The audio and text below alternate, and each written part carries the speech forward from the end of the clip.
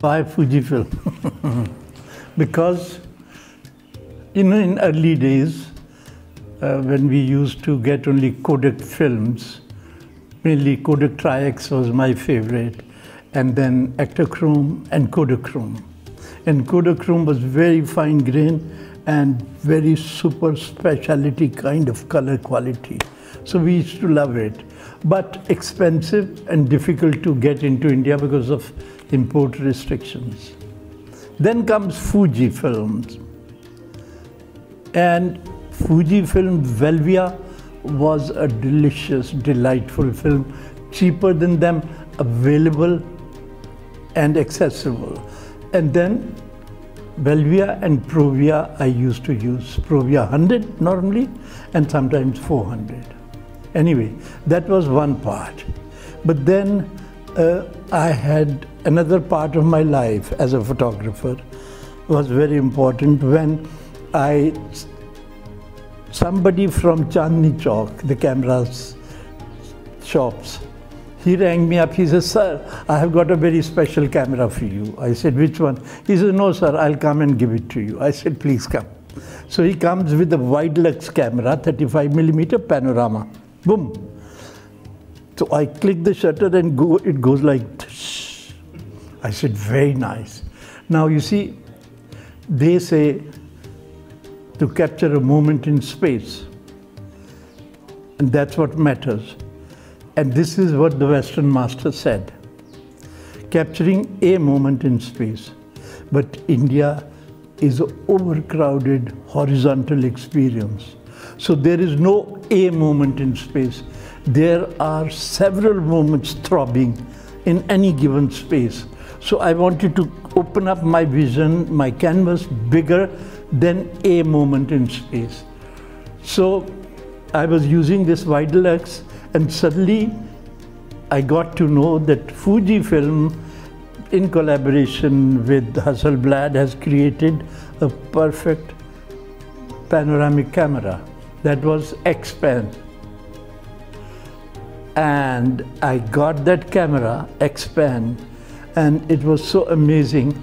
I, I think so far, it's been the most precise and perfect camera for a professional. Unlike today, that every camera has hundreds of modes and hundreds of things happening, and it becomes complicated, it becomes heavy and expensive. So this X-Pan camera had was manual focus, shutter speed aperture, and auto winding, just four features. And as big as any 35 millimeter camera of those days. So I went crazy using that. So, you know, when I had my big exhibition in France, they gave me a big retrospective at Arles Festival. So I had lots of panoramas taken with X-Pan. And they asked me, why are you so uh, fascinated by this? I told them, this is what India means to me, not a moment, several moments. So that was the thing. And then I had a big show in um, museum in Tokyo where they were getting the prints done with the Fujifilm labs. And they invited me especially to come to Tokyo and go to the lab to get my prints done. And they were doing a great job of it. And then there they presented me another X-Pan with three lenses and I was delighted. And now you guys, it's not DX, it's not full frame, it's a medium format camera, GFX 100S, 102 megapixels, as big, as light, and as quick or even quicker than most other professional cameras. So that's my delight these days. Two, photographers in the world who've done maximum number of books. One is uh, our Magnum photographer, and the other guy is me. I've done more than 50 books on different themes of India. Now, way back in 1970, when I was with the Statesman newspaper, my first job, our editor used to be Desmond Doig, very creative person. He said, Raghu, I have met a great lady in Calcutta, you must come and photograph her.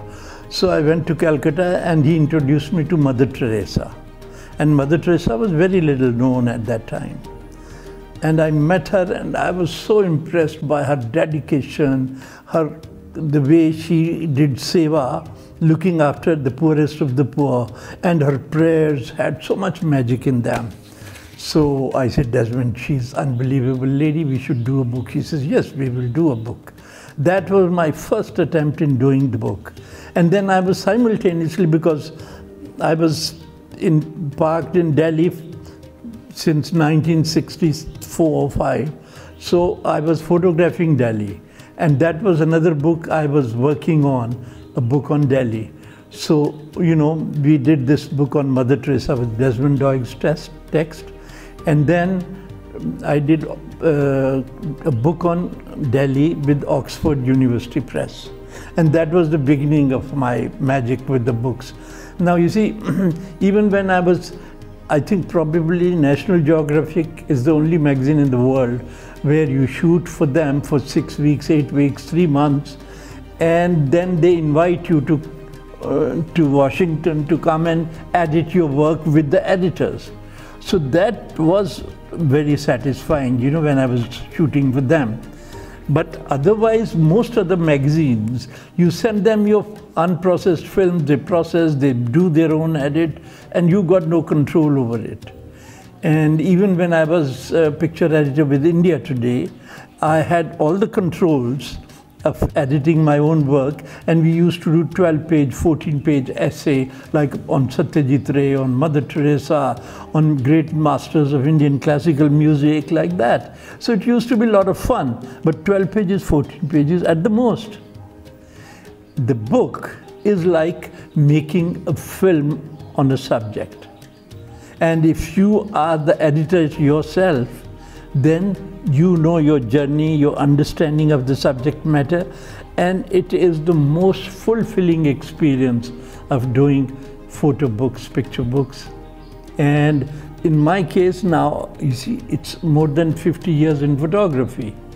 And early years, late 60s, 70s, and even 80s, I was shooting a lot of black and white and some color. And today I'm shooting, you know, you shoot in color, convert it into black and white if you want.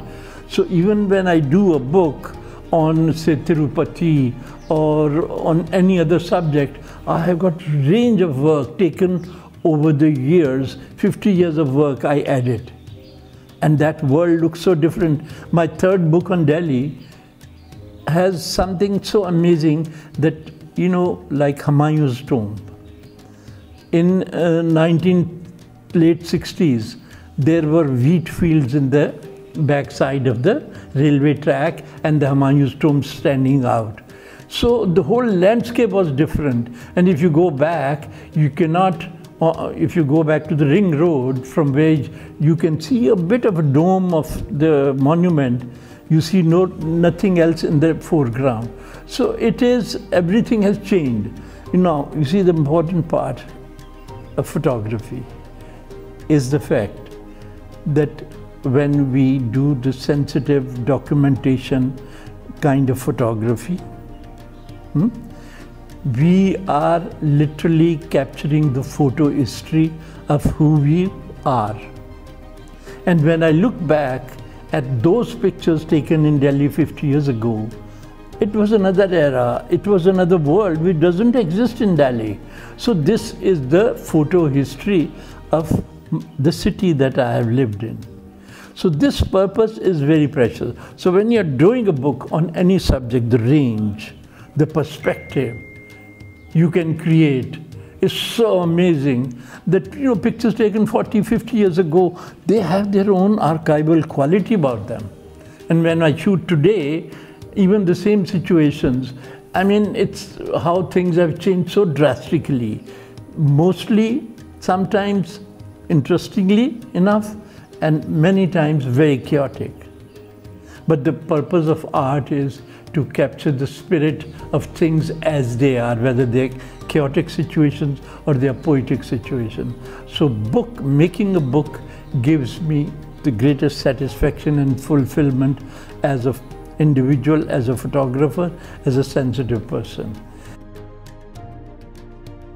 You know, with GFX 100S, which is 102 megapixels and brilliant quality, so I'm planning to do a book on Ajanta Ellora. I have photographed Ajanta Ellora, but now I'll go back and, and, and like Ellora, Ellora are the rock temples carved out of single rocks.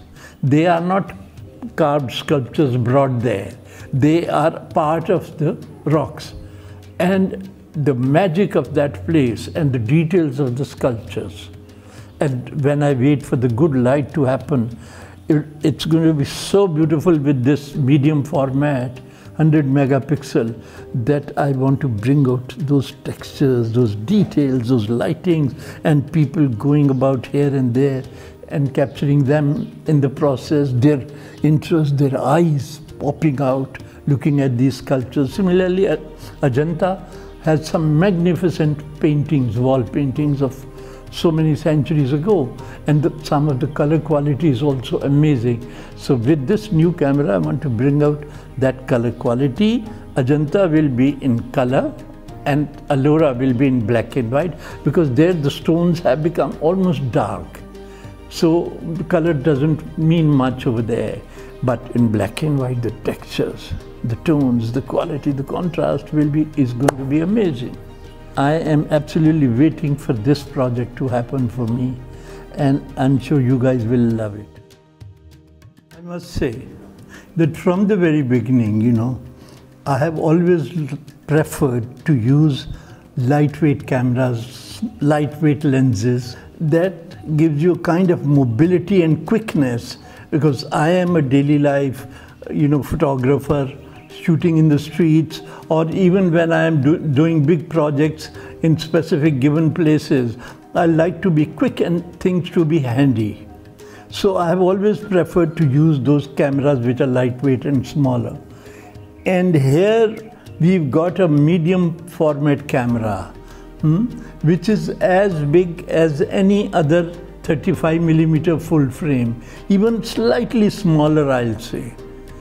And what is so great about it is that it's very handy, it's efficient, it's very quick to use, and above all, I have seen just in my two fingers, I have the, all the controls. I have to hold the camera and just these two fingers do the magic from from uh, ISO to color quality to focus to anything that I want to do, it's in my two fingers. It's very efficient camera and that's what makes a lot of difference.